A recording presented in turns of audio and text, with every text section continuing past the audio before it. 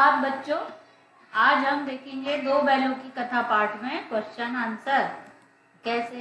कौन कौन से आंसर को क्वेश्चन को अपने को, उत्तर प्रश्नों के उत्तर को लिखना है और पढ़ना है। परीक्षा के तैयारी के लिए भी हम कर सकते हैं इनको याद। तो हम देखेंगे कि लघु उत्तरीय प्रश्न कैसे लिखे जाते हैं। आप देख रहे होंगे चित्र में कि अब प्रश्न दिया है दो बैलों की कथा में। प्रश्न है लघु उत्तरीय पहला। सच्चे मित्रों की क्या पहचान होती है? हीरा मोती के स्वभाव के आधार पर बताइए।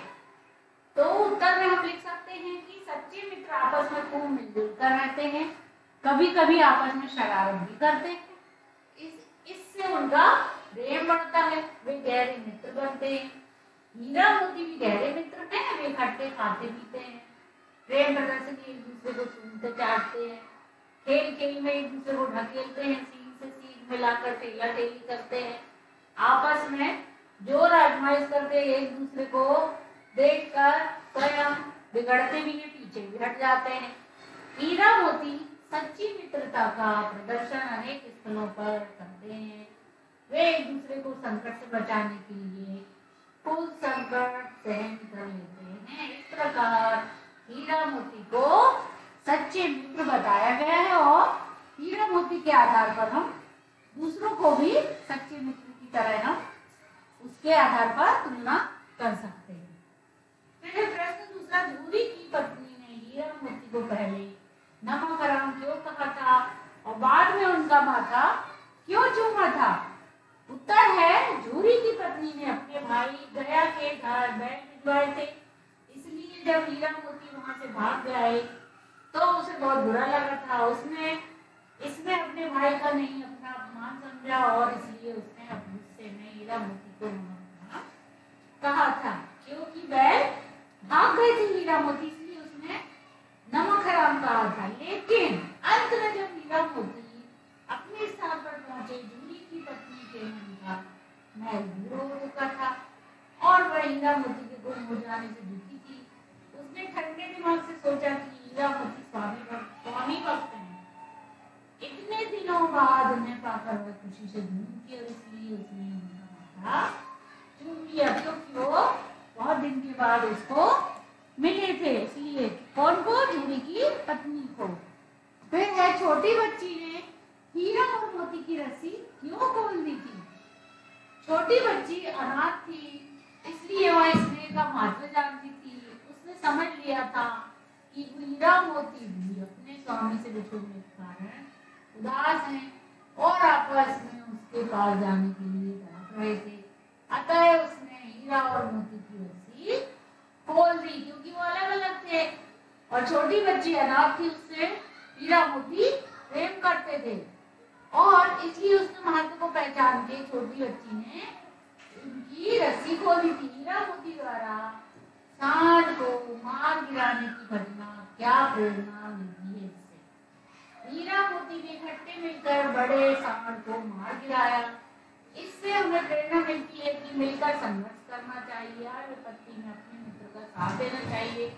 एकता में ही। बल है फिर प्रश्न है, दो वैल्यू की कथा को ध्यान रखते सिद्ध कीजिए, एकता में शक्ति होती है। होती है। उत्तर है, हीरा और मोती सच्चे मित्र हैं। एक दूसरे विपत्ति में एक दूसरे का साथ देते हैं मान तान मारने दौड़ा तो वे मिलकर उसको पैर टूट पड़े। उसी पर, उस पर टूट पड़े और एक उसे आगे से मारता, दूसरा उसे में दूसरे देता। इस प्रकार दोनों ने बलशाली साल को मार गिराया। दोनों ने अपने व्यवहार से एकता की शक्ति को सिद्ध कर दिया था। फिर है मटर के को हीरा मोती को क्या सजा मिली? मटर के खेत में घुसने पर खेत के मालिकों ने बैलों को घेर लिया। उन्होंने उन्हें पकड़ लिया और आवारा पशुओं की जेल गांधी हाउस में बंद करवा दिया। यह सजा मिली क्या? कौंडी हाउस में बंद करवाने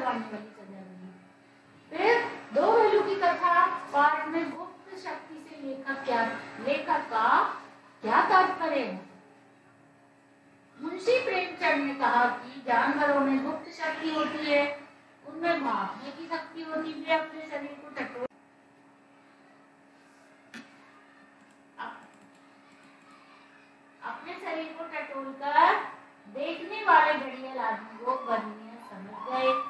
उन्हें पता चल गया था कि यह आदमी उनका प्यारा मित्र नहीं।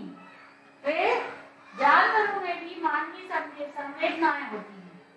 इस कथा से बैल दो बैलों की कथा के आधार पर स्पष्ट कीजिए। जानवरों में भी मानवों जैसी कोमल कोमल भावनाएँ होती हैं। हीरा और मोती मनुष्य की तरह प्रेम और स्नेह को समझते हैं वे मालिक और छोटी बच्ची के स्नेह को भली भांति समझते थे। वे प्यार कर, एक दूसरे को नहला कर बहला कर प्यार से ही देते थे। और दूसरे, वे घटियल आदमी और दया के कठोर भाव को समझते भी थे। लेकिन उनमें दया, क्रोध, विद्रोह की भावना भी सभी मानवीय भाव दिखाई देता है। इससे हमें ये समझना मिलती है दो बैलों की कथा में आगे देखेंगे हम प्रश्नों को कि खाली स्थान में क्या वर्णन अब है उपन्यास सम्राट के नाम से जाने जाते हैं कौन मुंशी प्रेमचंद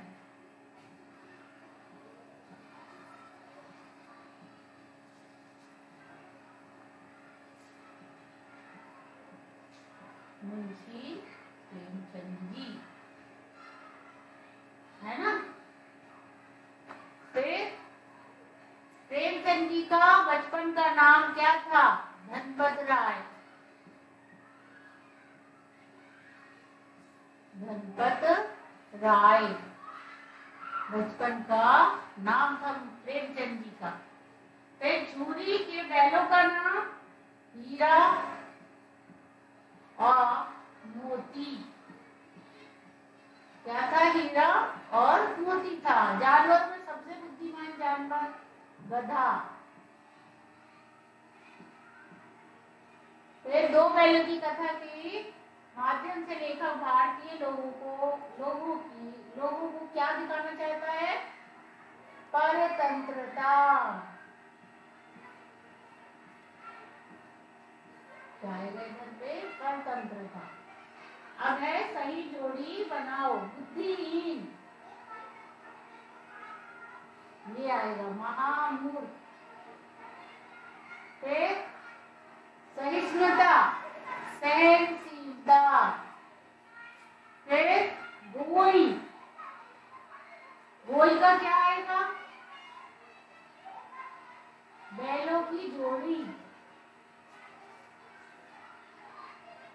फिर आएगा ठठरिया अस्थि पंजर।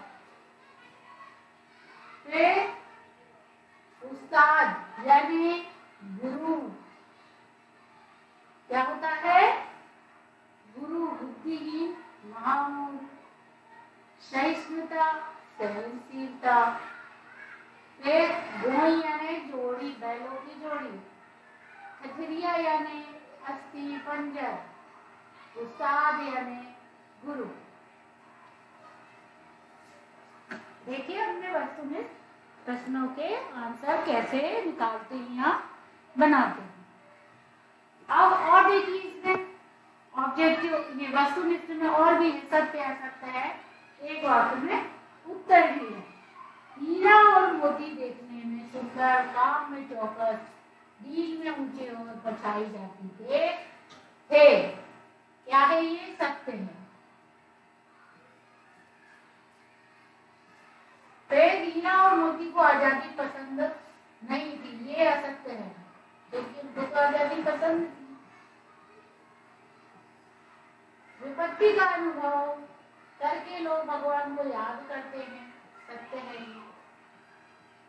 ये दो बैलों की कथा कहानी से प्रेरणा क्या आज़ादी बिना संघर्ष नहीं मिलती, ये भी सत्य है।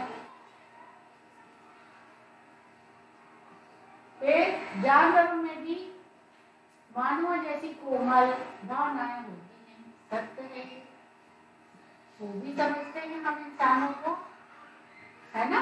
हमारे हिसाब से बैठ जाते हैं, खड़े हो जाते हैं, रोटी खा लेते हैं तो उनमें भी मानव जैसे भावनाएँ कोमल अब हम देखेंगे एक वाक्य में उत्तर। पहले दर्जे का बेवकूफ़ का अर्थ लिखिए तो क्या होता है। बिल्कुल मूर्ख। बिल्कुल मूर्ख या निरा मूर्ख होता है। फिर है। तो गधा और ऋषि मुनि में क्या समानता है? सुख दुख की समानता है। की सुख दुख। तेरे बैल को क्या कहा जाता है? बचिया के ताऊ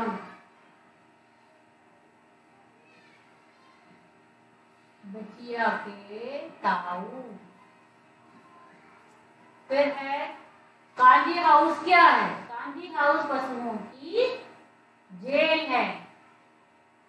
जूरी के बैल कौन सी जाति के थे? पछाई जाति के। कौन सी जाति के? ये जानवरों में जाति होती है। बैलों में वो पछाई जाति है। तो जूरी के बैल पछाई जाति के कांजी हाउस क्या है? पशुओं की जेल। क्या है? पशुओं की जेल। बच्चों आपको ये क्वेश्चन आंसर करने हैं और परीक्षा के लिए आपको पढ़ते जाना है और तैयारी करते जाना है। लिख लिख के भी आपको याद होगा इससे लिखें और तैयार करें